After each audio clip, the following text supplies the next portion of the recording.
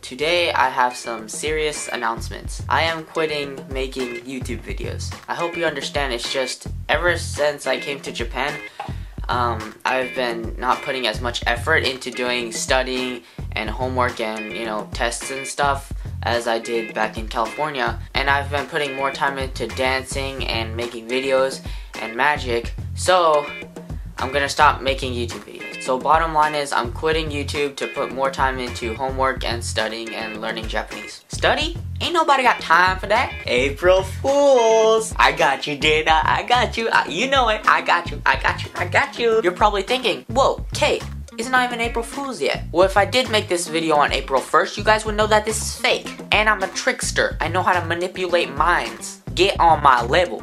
So right after you watch this video, write down in the comments below something like, oh man, Kei, you're leaving, man, we're gonna miss you, buddy. Something like that. So if people go to the comment sections before they watch the YouTube video, then they'll think, oh snap, this is faux show. Don't ruin it. Get in on this prank. But I actually do have some real announcements. I actually am quitting YouTube. I, am so sorry.